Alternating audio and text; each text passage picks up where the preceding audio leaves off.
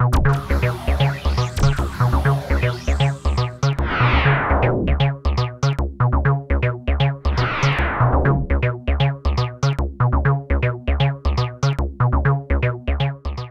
this TA Tech tip, I'm going to show you how to set up and analyze some temperature calibration data for a Discovery TGA. To initially set up a temperature calibration point for your Discovery TGA, make sure that you select the calibration menu. In this menu, you'll see the, the Curie point table or the temperature table. Uh, there are calibrations that exist here, but if we're going to create a new temperature calibration, select the New button. In here you will be selecting the type of material that you will be using, in this case Alumel. You need to make sure that you select the correct pan number and the correct pan type from this drop-down menu. The program should, by default, set up according to the type of material that you have, whether it be Alumel or a nickel or a nickel cobalt.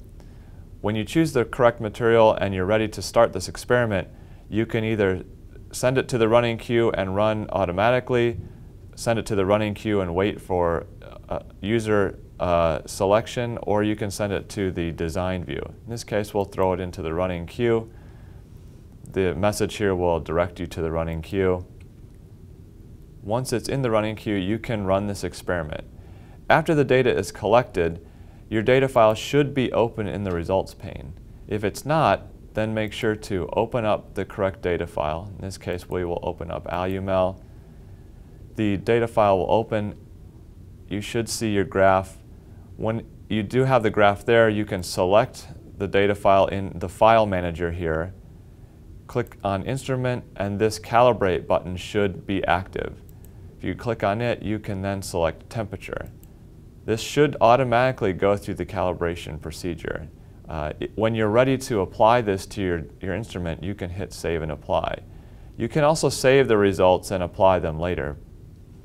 If you want to see the information that exists th for this particular calibration set, you can say Show, Edit Show Details, can say Go To, and it will show you how the software actually analyzes that data set.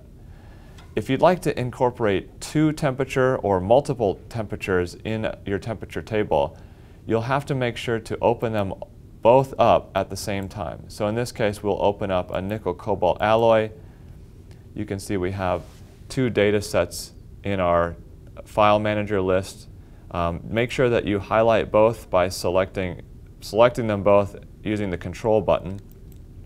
Once you select both items, Again, the calibrate button will become active. You can say temperature calibration, and you can see here that you're adding multiple items to this list. Here again, you can show how each of them are analyzed, and when you find that these are correct, make sure to hit the Save and Apply button, and the information will be sent over to this calibration data set, and it will include another uh, item in your list here.